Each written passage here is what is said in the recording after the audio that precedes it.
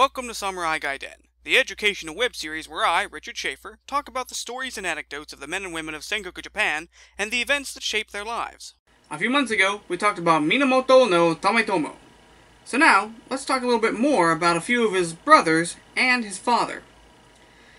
You'll remember that his elder brothers, led by Minamoto no Yoshitomo, the eldest brother, had sided against Tametomo and his father, Minamoto no Tameyoshi. Along with Yoshitomo were two of his younger brothers, Yukie and Yoshinori. But on Tameyoshi's side were, of course, Tametomo and five other sons, Yorikata, Yorinaka, Tamemune, Tamenari, and Tamenaka. Tameyoshi's other son of some renown, Yoshikata, the father of Kiso Yoshinaka, died the year before the Hogen disturbance that Tameyoshi's sons all fought in. It's hard to tell which side he would have been in on the conflict. So, as we discussed, Tametomo managed to escape the battle's initial defeat and was exiled to Izuoshima. But what happened to Tameyoshi and his younger sons? For that, we must look at what happened to the victorious son, Minamoto no Yoshitomo.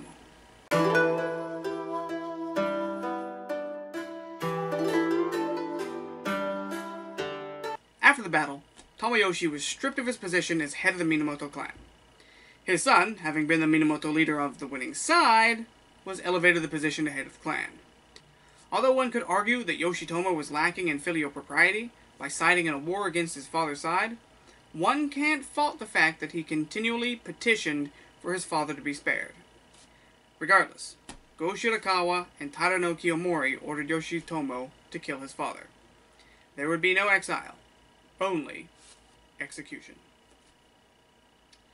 Yoshitomo called up one of his retainers, a Kamada Masakiyo, and asked for advice. He asked Masakiyo which was worse, violating the Confucian beliefs that were so prevalent in Heian era court ideologies by killing one's own father, or by violating those same beliefs by disobeying the emperor's command. Masakiyo advised his lord on several incidents in Buddhist texts where men were compelled to kill their own fathers because of overriding circumstances. Masakiyo reasoned that Tameyoshi would be killed either way. He was now an enemy of the crown, after all. Might as well be killed by his own son, rather than some stranger sent by the court.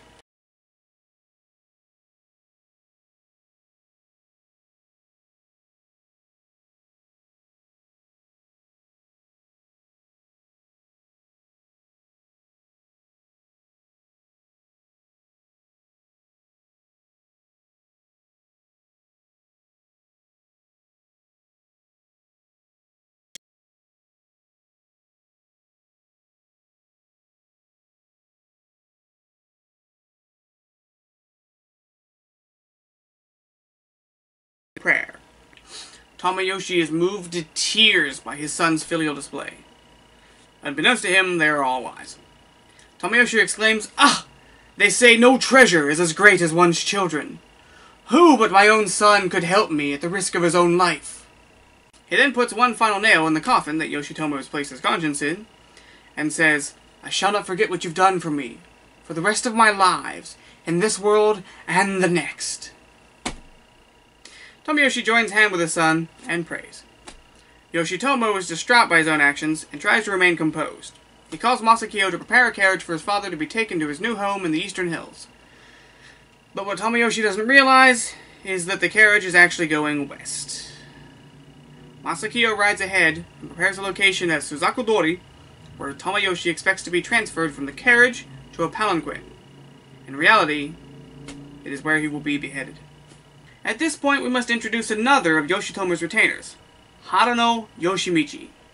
Yoshimichi remonstrated with his colleague Masakiyo and informs the man that Tameyoshi had adopted him and raised him like a son.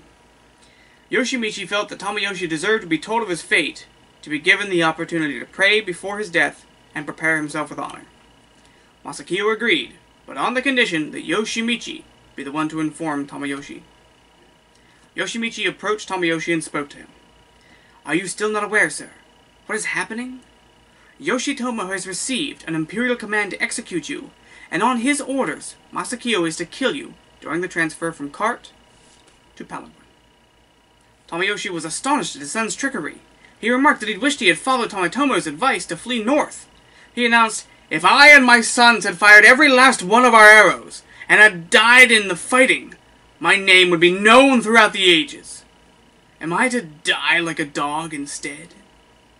I would have given my life to save Yoshitomo's. But alas, as the saying goes, parents always think about their children, though children never think about their parents. The sun had still not yet risen at Suzakudori, as Tameyoshi kneels and exposes his head, loudly repeating prayers to the Buddha. He urges the men to be quick about his execution. He tells them that his youngest four sons will each be worth a hundred men to Yoshitomo in the future, and that he should take care of his younger brothers. Masakiyo stares at the man, and finds himself unable to strike down the head of the clan his family has served for generations. He cowardly bids Yoshimichi to take the fatal strike. Yoshimichi, too, is unable to kill his adoptive father, and outright refuses to partake in the execution. One of Masakiyo's soldiers draws his sword and strikes at Tameyoshi's neck. In the darkness, he misses strikes Tameyoshi in the backbone. Tameyoshi turns his head and looks to his son's retainers, and he quietly remarks, Masakiyo, why don't you do it? The second sword stroke rings true, and while Yoshitomo's men stand in terrified reticence, Tameyoshi is finally killed as the sun rises over his body.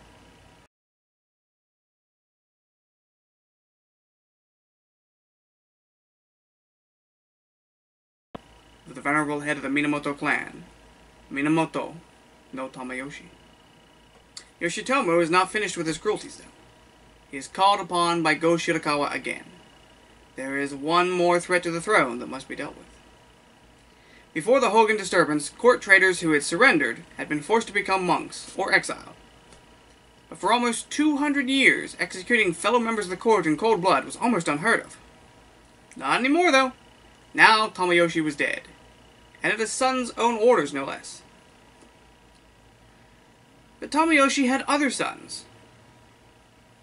They had all been executed as well for participating in the battle. But Go Shirakawa wanted more blood. You see, Tameyoshi had four sons who were underage. Yoshitomo's child brothers, aged 13 and younger. They, too, must be dealt with in similar, but brutal fashion.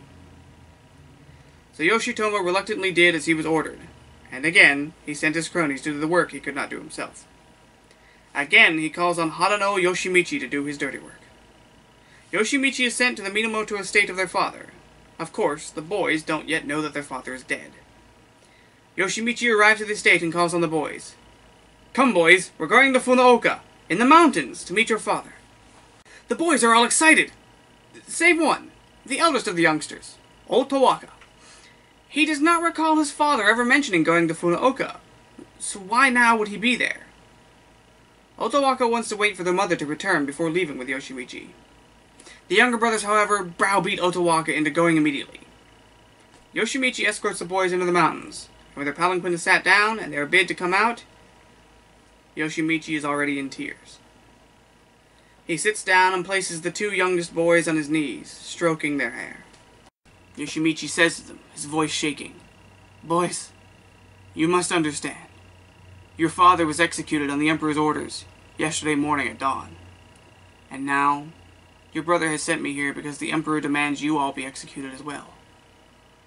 The boys weep and cling to Yoshimichi, save for one, Otowaka again. He stands apart from the others, arms crossed and defiant. Oh, Otowaka pulls his younger brothers away from Yoshimichi and chastises them for weeping. It makes no difference if we die today as children or die as adults later he says. Our father and brothers have already been killed. So what good is it to live on? We will simply become beggars, pointed and laughed at by our peers. Instead, we should pray that Father will meet us and welcome us into paradise upon our own deaths. Otowaka asks for a knife, and with it he cuts a piece of hair off of himself and each of his brothers, the front lock of hair. He gives these to Yoshimichi to be given as a final memento to their mother. And with that, Yoshimichi draws his sword, and he executes each brother in turn, Otowaka watching on, until when all is said and done, Yoshimichi gathers up the boys' heads and reports to the palace in Yoshitomo's stead. The Emperor's attendants inform him that the inspection of the children's heads will not be necessary. They're not even important enough to bother with such ceremony and ritual. Yoshitomo brought the Minamoto to a prosperity unheard of before.